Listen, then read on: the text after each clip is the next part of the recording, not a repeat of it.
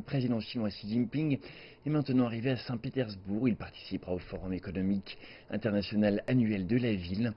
Le président Xi prononcera un discours sur les idées de la Chine concernant le développement durable, l'amélioration de la gouvernance mondiale pour le développement commun et la prospérité du monde sera l'un des points importants.